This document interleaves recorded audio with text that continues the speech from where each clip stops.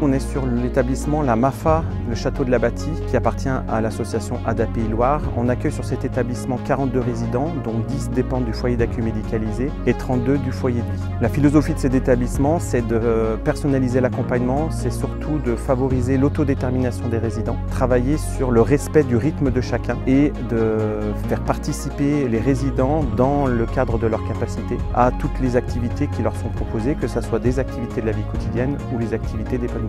On a vu un petit émerveillement dans leur, euh, dans leur regard qui était euh, waouh, on va pouvoir jouer. Euh. Du coup, j'ai trouvé ça incroyable pour eux, le fait qu'ils puissent découvrir aussi une nouvelle technologie. C'était chouette.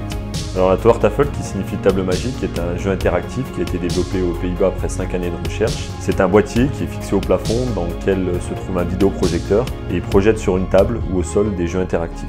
L'acquisition de la Tower Tafel présente un nouvel outil pour les équipes qui sont déjà très engagées pour proposer des activités en réponse aux besoins et aux attentes des résidents. C'est vraiment un nouvel outil qui leur permet à la fois de simuler les capacités motrices et cognitives, de créer cette socialisation, mais elle permet aussi aux résidents d'avoir accès à ce support pour jouer, pour faciliter les temps de transition et pour créer euh, une dynamique au sein du lieu de vie. Tous les jeux sont développés en co-conception. Pour développer un seul jeu, on met entre 8 et 18 mois. Et tous ces jeux en fait sont des idées qui proviennent des établissements, des équipes, des familles et ils sont développés avec, euh, ces établissements. Pour moi, la Togortefoll, c'est quelque chose d'innovant. Quand on travaille seul sur un étage, on peut quand même proposer cette activité parce qu'ils participent tous, même s'ils ne sont pas dans le jeu, ils sont à côté, ils regardent les autres participer.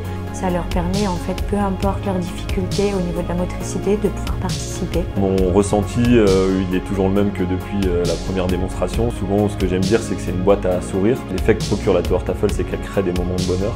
C'est un dispositif qui est génial à la fois pour les résidents et pour les professionnels de l'établissement, mais qui pourra aussi intéresser d'autres professionnels et surtout des résidents du pôle.